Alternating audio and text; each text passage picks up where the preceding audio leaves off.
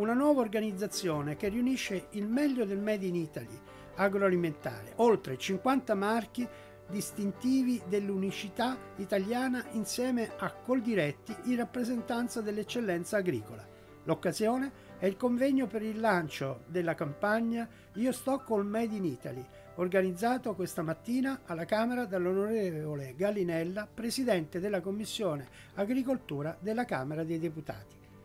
L'obiettivo è contrastare senza se e senza ma l'Italian Sounding che ruba al nostro paese oltre 300.000 posti di lavoro, anche quando a farlo sono aziende operanti in Italia che omettono lo stabilimento in produzione in etichetta o dichiarano di fare Made in Italy, producendo all'estero. Non è più possibile separare il prodotto italiano al suo modello e dalle sue radici. Lo dice Luigi Scordamaglia, riassumendo così la filosofia di Filiera Italia, di cui è presidente. Un gruppo di quelli che amano questo paese nel settore agroalimentare, in pratica tra le prime 50 eh, industrie alimentari italiane, tra i marchi più famosi eh,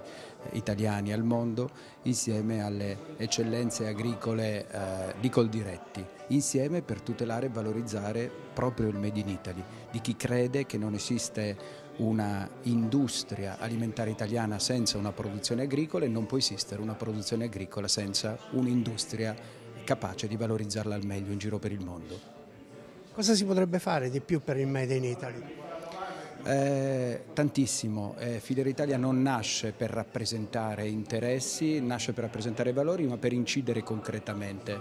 Si muoverà eh, sul fronte internazionalizzazione, insieme all'ICE stiamo organizzando una serie di eventi per promuovere all'estero la filiera, non siamo soltanto prodotti di eccezionale qualità, siamo storytelling, siamo territori, siamo produzione agricola eccezionale, siamo una storia da raccontare e lo faremo in giro per il mondo, perché così si contrasta l'Italian Sounding molto di più che eh, con le false bandierine o con gli strumenti legali che comunque sono necessari. Eh, ci muoveremo anche con uh, il mondo finanziario, stiamo già studian studiando uh, degli strumenti ad hoc uh, per la filiera, per il supply chain di singoli settori e aziende, analogamente a quanto eh,